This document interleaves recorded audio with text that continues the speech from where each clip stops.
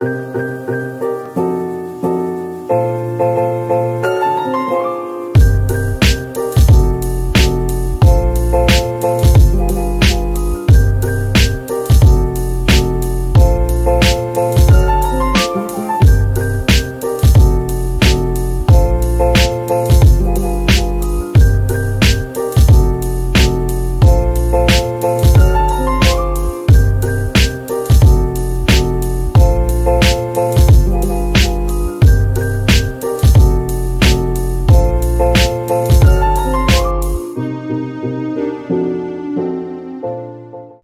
everybody, today I'm going to show you how to create cool typography illustration using path effect that make the text easily to warp in Inkscape.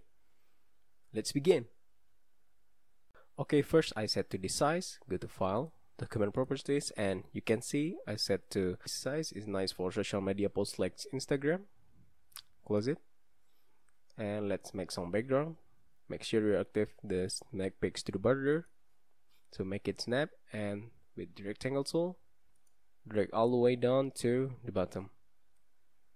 Okay let's change the background color by edit objects or control shift F the shortcut and let's change this red color to this color. You see this color code? Just copy it. Click on our rectangle then paste. Next let's input the juice bottle go to file. Import. Choose this. Just click open. Hit ok. And then let's trace it. So you can edit the juice bottle. Go to path trace bitmap. Make sure you active this live preview. Leave the setting just hit ok. And close it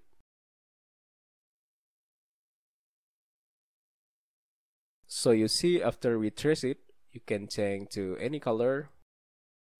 Let's change to this color by pressing D or click this dropper tool or and click this.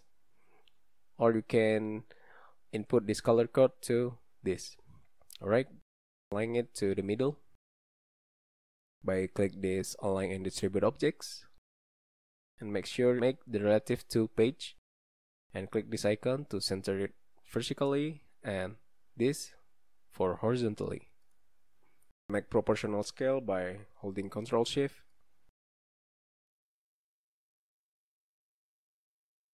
Just delete this juice bubble. Okay, now let's edit this juice bottle with the Bezier tool. Go to here or press B on your keyboard. Draw some to this point and this and make it connect. You see just swap this color. We don't need the stroke. Let's select these two objects. Go to path and click difference. This one we want to make some wavy style with Bezier tool again. Press B or click here. The Bezier tool. Draw some wave let's connect it. And we don't need the stroke. Let's swap this. Right click swap fill and stroke. And select this two path go to path and choose difference. Okay now for this part go to here or press F2 and you can bring it up. You can see the object not smooth here and let's delete it delete these two nodes. Let's not make the object more smoother. Okay so let's delete this. And these two delete. Let's let's drag to sandal. And these two these two. Nice shape. Now our main focus to add some text to here. Okay so go to this text tool and let's type. I'm using this caveat brush font. It's open license fonts thanks to the creator. You can download in the link description. Move it here.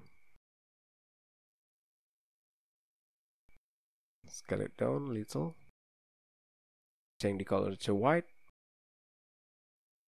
And for add some effect to this text first let's convert it to path go to path and object to path now add some path effect. Go to path choose path effect.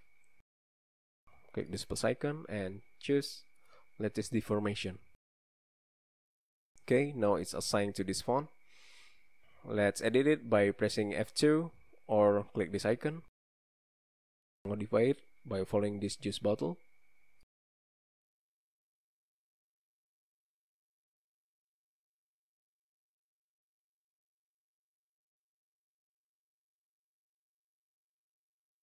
okay add some text again.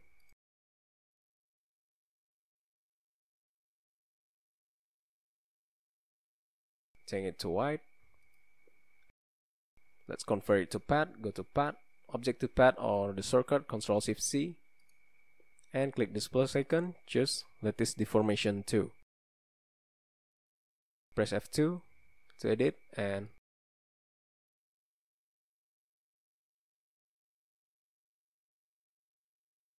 and more with the same steps. So I'm gonna speed this to save sometimes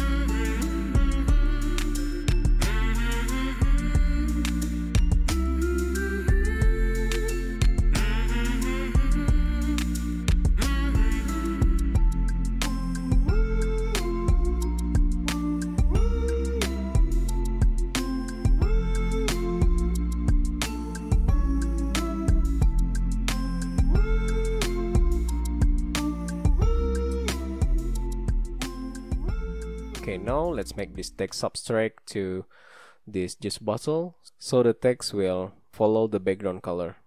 Let's select all in this element.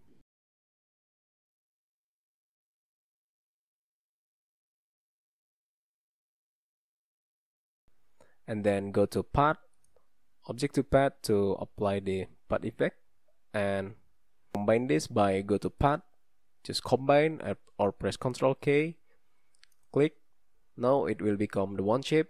And let's select these two objects the text and the juice bottle go to path and click difference. Now if you change the background color you see the, the text will be in one shape like this. Alright let's undo it by ctrl Z. Last thing add some texture. Go to file import and just this the png grunge Let's trace it like before. Go to path, trace bitmap, leave the setting off, hit OK. Okay, now this is the texture that we want to subtract with this juice bottle, and just delete this PNG. Scale it up. Too many texture, we don't want it to mess up with our text. So on the texture selected, go to here or press F2 and let's delete around this part. Press delete.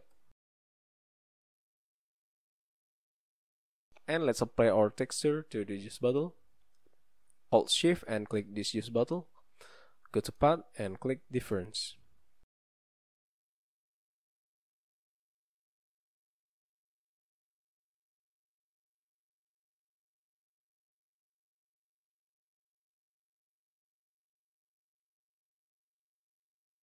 I hope you enjoyed this tutorial for the text warp and adding some texture on our vector object. Don't forget to subscribe, make sure you are an update about this Inkscape tutorial. Thanks for watching, I'm Zakey from Zakey Design. Let's create something good today.